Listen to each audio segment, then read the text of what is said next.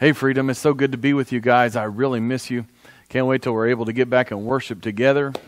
Amen. Every week that, that we're online is one week closer to getting back together. Amen. So be encouraged. Don't get, don't get upset.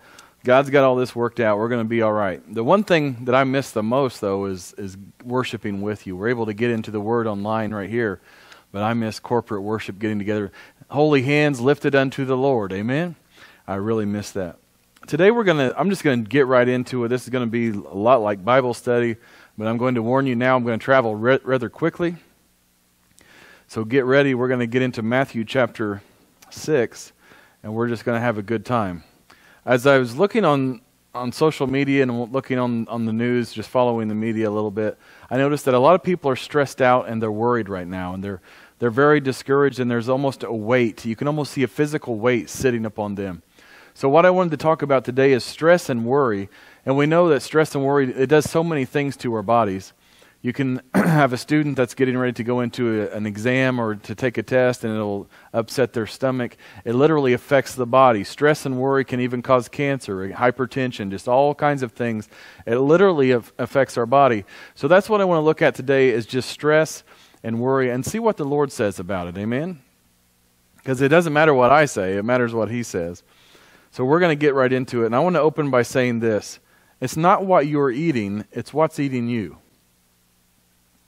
It's not what you're eating, it's what's eating you. Because a lot of people, when they think with, with their health, they have to watch what they eat. And I understand that. I'm not, not putting that down. But it's not what you're eating, it's what eating, is eating you. You can be eating a to- totally healthy diet, but the stress and the worry that is eating at you can destroy your body. So you can eat all the carrots, all the vegetables that you want, but if you're stressed all the time, it will begin to deplete your system and actually hurt your body. You know I'm telling you the truth, right? So we're going to get into it. Our text today in Matthew 6 is part of the Sermon on the Mount that Jesus gave. And you've probably read through it many times, but today I want to point out maybe some areas that we just, when we read, sometimes we half read or we just breeze through it and we don't really stop and think and dig into the text and say, Lord, show me what you're talking about. So I want to do this today. I want to get into it. And you might be saying, well, Joe, I'm not really stressed. I'm, I don't feel that stressed out. Well, just, just hold on to this because Jesus doesn't want us to live a stressed out life. And some people with communion, we understand it's for our healing. They say, well, I don't need to take communion. I'm not sick if it's for my healing. But divine health is better than divine healing. I would rather be healthy than to need healing. Amen? It's the same with this. It's divine just peace and, and joy and, and righteousness. And when you know that, we're going to get to that in a minute. When you get that on the inside, you don't have the stress and the worries that come with life. All right? So we're going to get into it. Matthew 6 and verse 25. Hang with me. I'm going to travel quickly. We have a lot of ground to cover. Therefore, I say to you, do not worry. Just say that with me. Say, do not worry. Do not worry about your life, what you will eat or what you will drink, nor about your body, what you will put on. Is not life more than food, and the body more than clothing? So, what is worry? Worry is stress, it's torment, right?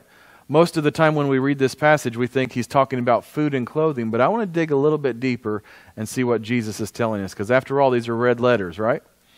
Is not life more than food, and the body more than clothing? Now, I want to look at those words.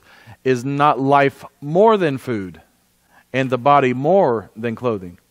So we're going to add one word in here. We're going to add the word quality. And you can add when it enhances the Word of God. That's where we get the amplified version of the Bible, is they've added to it, but it, it intensifies, it, it, illuminates what, what you're reading. And we're going to do that today. We're going to u- use the word quality. So is not quality of life more than food? And quality of body more more than clothing. In other words, this is what he's saying. What is the point in having delicious food if your life is rotten? If you have a terrible life, what's the point in having really good food? Or having beautiful clothes. If you have the most expensive clothes, luxurious clothes, but your body's falling apart or you can't even get out of bed, he says, What's the point in all that? So, what God is saying is that your quality of life is more important than the food that you eat. The quality of your body is more important than the clothes that you're putting on. Do you see this? All right, verse 26. Look at the birds of the air, for they neither sow nor reap nor gather into barns, yet your heavenly Father feeds them. Are you not of more value than they? So he's not saying that we don't have to work, that he's going to provide for us like the birds. He's not saying that. But he's saying that we don't have to live with the world system in mind. We don't have to live by their system. We have a God who takes care of us. And this is why some people get upset with Christians because we just seem to be blessed. We know what it is, of course. We call it divine favor, but you fall over in a mud puddle and you get up and say, Hey, I found a $50 bill. And they say, I don't understand how you could do that. I don't understand how all this stuff, they call it luck, but we know it's God's favor. Amen. He says, I can take care of you. If I can take care of the birds and the flowers we're getting ready to get into later, the lilies, he says, then I can take care of you. I can take care of my people. So there's no reason to stress and worry about it. So you have to understand this in this passage. He was talking to fishermen and he was talking to farmers, and they're used to sowing, they're used to, to the reaping process, they're used to harvesting and storing in barns. But he's letting them know that with God on your side, you can skip some of the labor. And that's what he wants you to see today is some he's getting ready to do something in your life that looks like it could take 2 years. He says, "I can do that in a weekend because I'm a God of more than enough. I'm a God of exceedingly abundantly more than you could ever ask or think." Amen. so say this with me. Say, "I'm ready." I'm ready. I'm ready. I'm ready too. Verse 26. Look at the birds of the air, for they neither sow, nor reap, nor gather into barns, yet your heavenly Father feeds them. Are you not of more value than they? Notice how he says this. He says, Your heavenly Father feeds them. Your heavenly Father feeds them. Notice that he didn't say their heavenly Father, not the bird's heavenly Father. He says, Your heavenly Father. What he was doing is he was trying to provoke the Jewish people to jealousy. He says, I'm your Father. I'm your father. Do you not see this? In the Gospel of Luke, during the Sermon on the Mount, he goes one step further and he says, Consider the ravens. So, why would he say consider the ravens? Because ravens were considered unclean according to Levitical law. They were unclean, so they weren't supposed to touch them. So, God is saying, If I can take care of the ravens who are unclean, don't you think I can take care of you? And he will take care of those unclean ravens. He can surely take care of you and me. Amen? God wants you to have quality of life. And here's what I want you to see birds don't stress out about the economy, right? Birds don't stress out about their jobs, they don't stress out about money or wars or politics. They just sing. And your heavenly Father takes care of them. So that's what I'm saying is we're going to get into this maybe next week, but he says, "Cast all your cares on me." Cast, cast it all. The birds don't stress out. They just go around, they just fly around singing right? Because they're not worried, they're not weighted down, they don't live a stressed out life with that weight. You're not designed to carry the weight you're carrying right now. Let me just tell you that right now. You are not designed to carry that weight. Cast all your cares on Jesus, for he cares. Amen? Let's look at verse 27. Which of you by worrying can add one cubit to his stature? This lets us know that he's, he's talking about the body, his quality of the body, because he says stature. Stature in the Greek means two things it means height and lifespan. Depending on what version you're reading, it could be either way. How can you, by worrying, increase your height? Some versions say that. How can you, by worrying, increase your lifespan? Other versions say that, but they're both right. In other words, how can you positively affect your body by worrying? How is it going to positively affect you? It's not going to help you grow, it's not going to nourish you. But we do know that when you worry, it negatively affects you, right? Somebody say amen. Do you think that God isn't pleased when we're worry free? Of course He is. He wants you to be worry free, He wants you to be stress free. And our enemy is the devil, right? But he doesn't go about, the Bible says he goes about as a roaring lion seeking whom he may devour. He doesn't go around with a red suit and a pitchfork. He's like a roaring lion. And if sitting where you are right now and you're watching me, if a lion came into the room and just roared real loud, would it create stress in your life? Of course it would, right? You would start to worry. You, you get stressed out a little bit. The roaring creates stress, which comes from worry. I want you to see that. I'm worried that I'm going to die. I'm worried that I'm about to be eaten. So it brings stress into my life. Worry, fear, and stress are all related. You have to know that. All right, Mark chapter 5. We'll turn over there really quickly. I want to show you something. Mark chapter 5, verses 35 and 36. While he was still speaking, some came from the ruler of the synagogue's house who said, Your daughter is dead. Why trouble the teacher any further? As soon as Jesus heard the word that was spoken, he said to the ruler of the synagogue, Do not be afraid, only believe. Do not be afraid, only believe. When we use our faith to combat worry and fear, God's blessings will begin to flow into our life. Amen. It's like that hose that uh, has there's a kink in it. When we use our faith to combat worry and fear and say, I believe rather than being afraid, all of the blessings flow. That's what grace is all about, believing, right? When we live a life of worry, it restricts the flow into our lives. What is worry? It's doubt in disguise. You're, you're really, when we're worried, we're doubting that God can bless us. We're doubting that He can heal us. Doubting that He can bless me financially. Doubting that He can get me a better job. Doubting that this can happen. Are you with me? That's what worry is. Let's go back to Matthew 6 and we'll move on to verse 28. You doing all right? Going kind of quickly. so, why do you worry about clothing? Consider the lilies of the field, how they grow. They neither toil nor spin. How they grow. So, now again, he's talking about the health, how they grow. He's talking about their health. They neither toil. The word toil in the Greek means hard, laborious work. They don't have to work hard. They neither toil nor spin, but God takes care of them. Verse 29 And yet I say to you that even Solomon in all his glory was not arrayed like one of these. So, did God clothe Solomon in all his glory, or did Solomon do a little bit of the work too? I want to show you something that I think many times gets overlooked. Turn over to 1 Kings chapter 10 and verse 10. 1 Kings 10, verse 10. Then she gave the king 120 talents of gold gold spices in great quantity, and precious stones. There never again came such abundance of spices as the king of Sheba gave to King Solomon. So 120 is the number of God. There were 120 people in the upper room on the day of Pentecost. There were 120 priests in Solomon's temple. Now let's go down to verse 14. The weight of gold that came to Solomon yearly was 666 talents of gold. 666. Does that sound familiar? 666. 666 talents of gold. He taxed the people greatly. He put a yoke on their neck. Now turn over to chapter 12 of 1 Kings. I'll show you what I'm talking about. 1 Kings 12 and verse 4. Your father made our yoke heavy. Now therefore lighten the burdensome service of your father and his heavy yoke, which he put on us, and we will serve you. So what's he talking about? The burdensome yoke, the heavy yoke, is taxes. He said, Your father Solomon taxed us greatly with a heavy yoke. Now, why is this important? Because not, of, not all of Solomon's glory was from God. Some of his glory was because of his laborious effort, because he taxed the people. He did things in his flesh. He didn't totally trust God. Some he worked and he toiled and he fought in his flesh to bring it about, to bring some of the glory. It wasn't all God's glory. Remember that wisdom brings riches, it brings honor, and it brings long life. Remember, we've been through that before.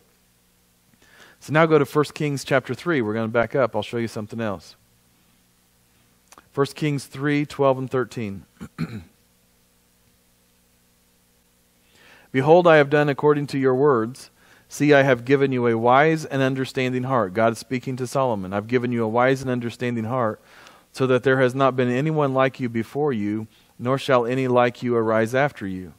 And I have also given you what you have not asked, both riches and honor, so that there shall be shall not be anyone like you among the kings all your days.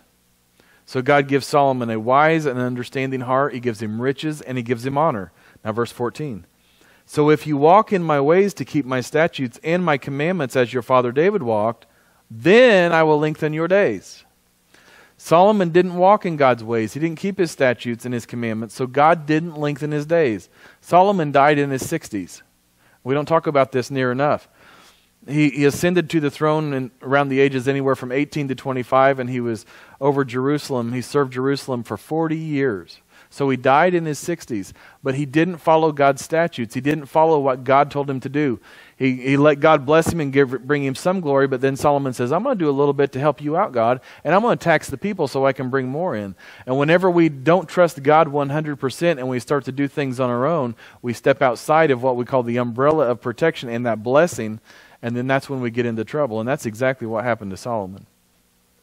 So I wanted to show you this. Now let's go back to Matthew 6 29. Matthew 6, 29. And yet I say to you that even Solomon in all his glory was not arrayed like one of these. And that's where we get this from, talking about his glory. Some of the glory was from God, but then Solomon says, I'm going to help with the glory. So that was just a detour. I just wanted to show you that. And yet I say to you that even Solomon in all his glory was not arrayed like one of these.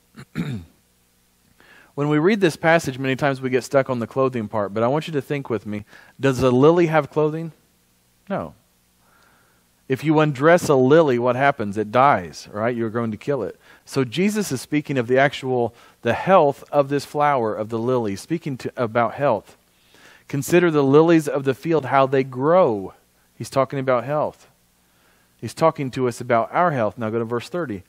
Now, if God so clothes the grass of the field, which today is and tomorrow is thrown into the oven, will he not much more clothe you, O you of little faith? So we're going to break this down into different sections.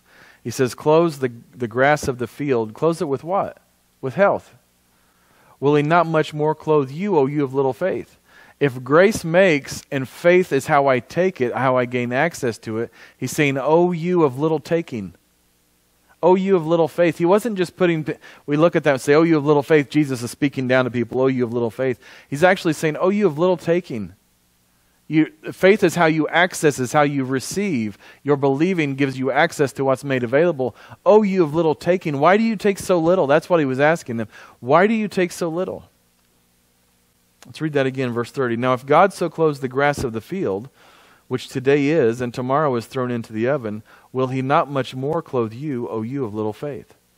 So let's look at the next part, which today is and tomorrow is thrown into the oven. Many people like to think that God only cares about the big things in our lives. He only cares about the, the, the grandiose things, the wonderful things. He doesn't care about what you wear. He doesn't care about where you live or what you drive. But if He cares enough to take time to clothe the grass of the field with good health, then He cares about every detail of your life. Amen? Psalm 37, verse 23 from the New Living Translation says, The Lord directs the steps of the godly. He delights in every detail of their life, of their lives. He delights in every detail of their lives.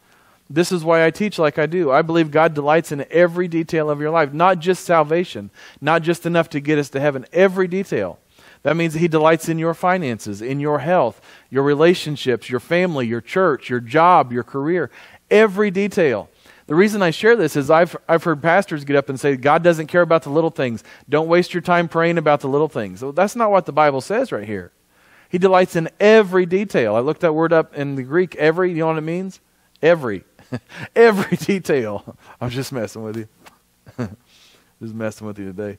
All right, Matthew 6, 31. I'm just having a good time. I wish you were here. When we get back together, we're going to have a good time. 31 and 32. Therefore, do not worry. Say that with me. Say, do not worry.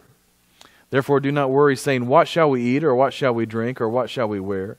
For after all these things the Gentiles seek, for your heavenly Father knows that you need all these things. So, what does the world seek after?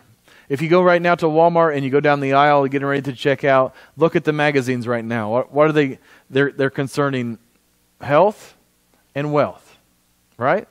They're, that's what the magazines are about health and wealth. That's what the world is after right now. So, how do I receive everything that I need from God? Let's back up and read this again. For your heavenly Father knows that you need all these things.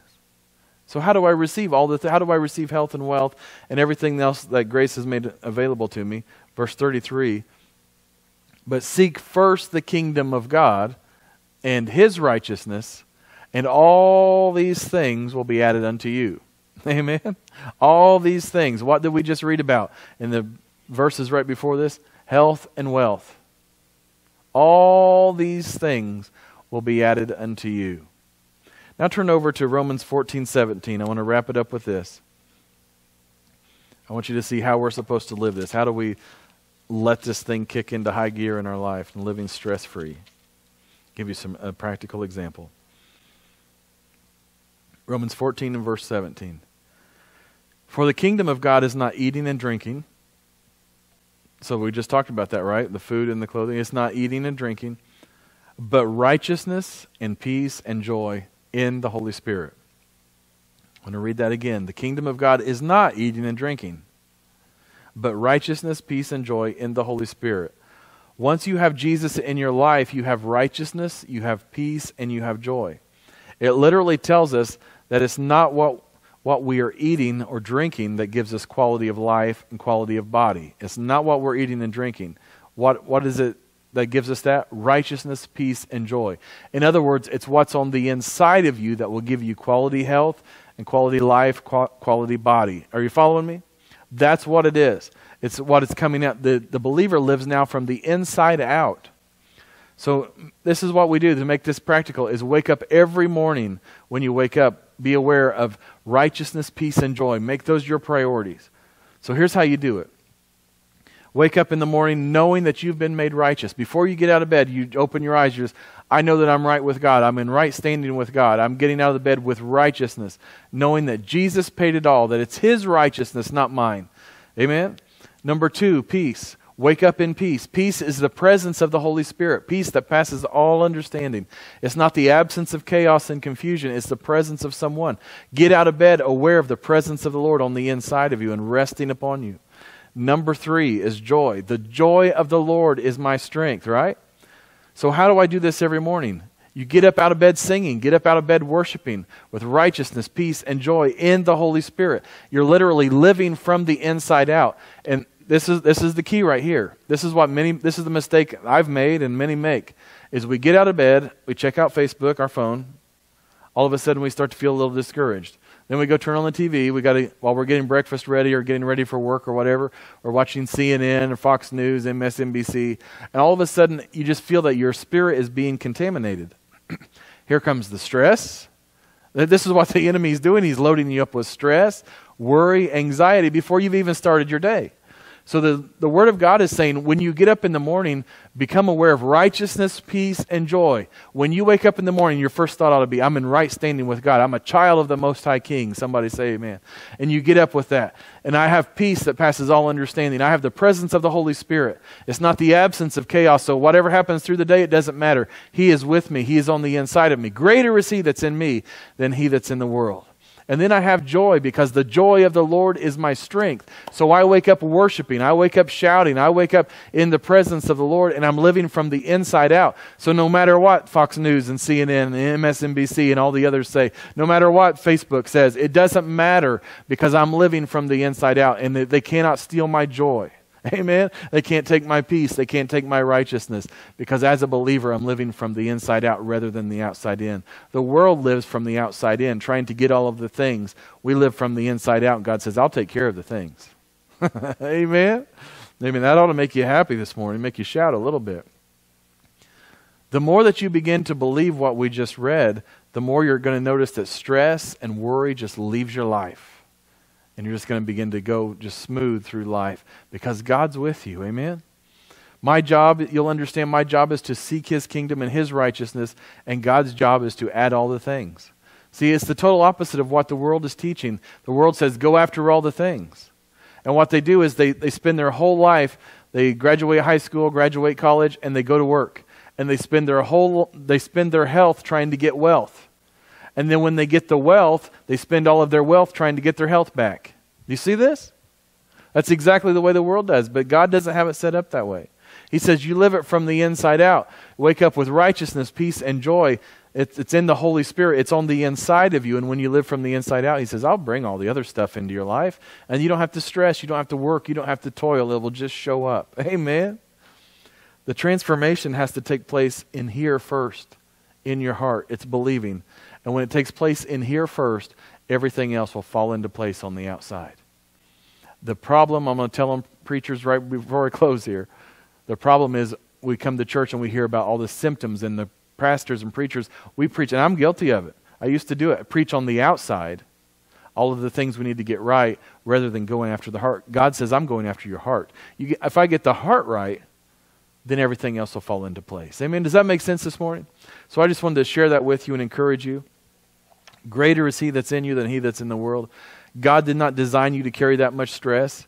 He didn't design you to carry worry and all of the things that you're carrying. It can literally weight you down. So, what you have to do is wake up in the morning aware of His presence on the inside. Amen. It's on the inside. He's resting upon you with righteousness, peace, and joy in the Holy Spirit. And now all the stress and everything else goes away because you wake up in His presence. Amen. I'm just about to preach myself happy. I just miss you guys. I can't wait till we get together again. It's going to be an awesome time. So go ahead and grab your communion elements. We'll take communion together and we'll close out the service today.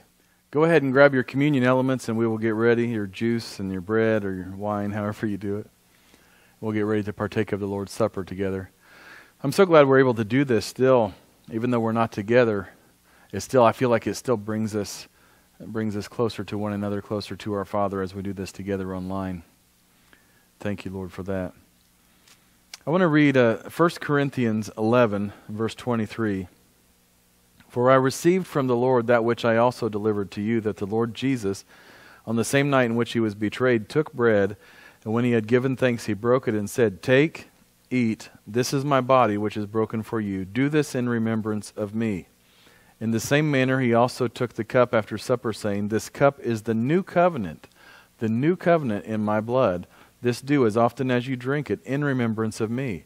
For as often as you eat this bread and drink this cup, you proclaim the Lord's death till he comes.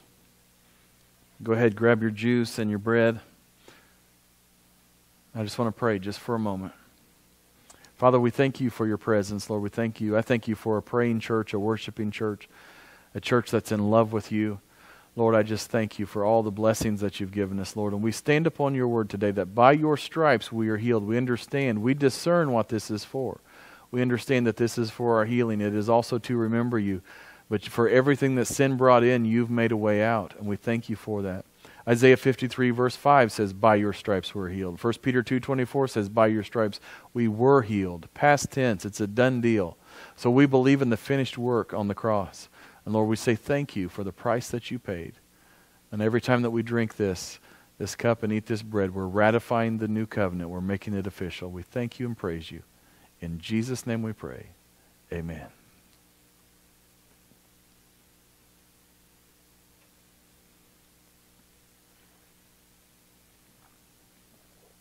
Amen. Thank you, Lord. Thank you, Jesus. Thank you, Lord. Thank you, Lord. Well, I'm so glad we were able to connect today and hang out together. What an awesome time getting into His Word and also taking the Lord's Supper together, taking communion is so awesome. I can't wait to see you guys again till we're back together. What an awesome time we're going to have. It's going to be so much fun. I can't wait to just give you big hugs and that we'll be high fiving, touching your neighbor, and all that stuff. We the way we used to have church. I can't wait till we do that again. But until then, I just want to encourage you stay in faith. And when you get out of bed every morning, remember righteousness, peace, and joy. It's yours. It's on the inside. So you don't have to let any stress, any fear, any doubt, any worry contaminate you anymore because you're living from the inside out. So stay in faith. I love you guys.